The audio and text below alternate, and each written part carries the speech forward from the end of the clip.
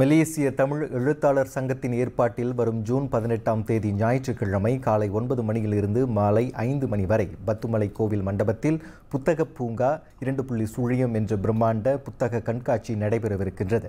இந்த புத்தக பூங்காவில் நாடு தழுவிய அளவில் உள்ள எழுபதுக்கும் மேற்பட்ட எழுத்தாளர்கள் மற்றும் கவிஞர்களின் நூல்கள் பார்வைக்கும் விற்பனைக்கும் வைக்கப்பட்டிருக்கும் என்று மலேசிய தமிழ் எழுத்தாளர் சங்கத்தின் தலைவர் ஞான சைமன் கூறினார். கதை கட்டுரை கவிதை வாழ்க்கைக்கு ஏற்ற வாழ்க்கை பாடங்களை சுமந்த நன்னறி நூல்கள் இலக்கிய நூல்கள் சிறுவர்களுக்கான பாட கதை நூல்கள் பார்வைக்கு மற்றும் விற்பனைக்கான பட்டியலில் அடங்கும்.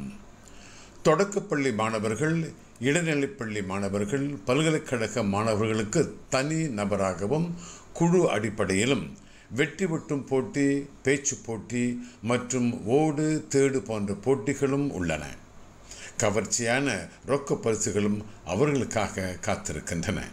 இரண்டாவது ஆண்டாக நடைபெறும் இந்த புத்தக பூங்காவில் தமிழகத்தைச் சேர்ந்த பவா செல்லதுரை இலக்கிய உரையாற்றவிருப்பதாகவும் ஞான சைமன் குறிப்பிட்டார். பவா செல்லுதுரை அவர்களின் கதை சொல்லும் முறை எழுத்தாளர்கள் இலக்கிய ஆர்வலர்கள் வளரும் எழுத்தாளர்கள் பல்கலைக்கழக மாணவர்கள் ஆகியோரின் இலக்கிய வளர்ச்சிக்கு பெரிதும் துணை பெறும் என நாங்கள் நம்புகின்றோம்.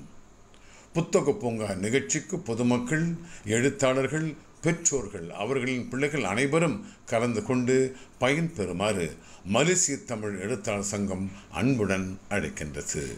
நலிந்து வரும் வாசிப்பு பழக்கத்திற்கு மீண்டும் உயிரூட்ட நடத்தப்படும் இந்த புத்தக கண்காட்சியில் கலந்து கொள்ளும் பொதுமக்கள் இது குறித்த மேல் விவரங்கள் மற்றும் போட்டிகள் குறித்த விளக்கங்களுக்கு சுழியம் ஒன்று இரண்டு ஐந்து ஆறு ஒன்று ஐந்து ஒன்று ஒன்று ஐந்து என்ற எண்ணில் ஆசிரியர் சபா கணேசுவை தொடர்பு கொள்ள கேட்டுக் கொள்ளப்படுகின்றனர்.